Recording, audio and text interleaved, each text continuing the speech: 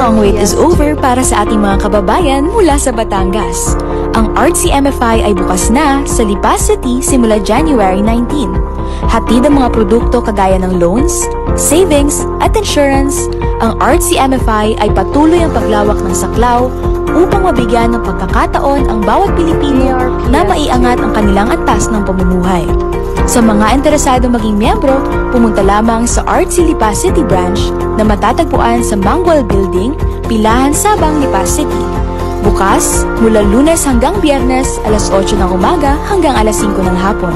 Artsy, katuwang sa kabuhayan.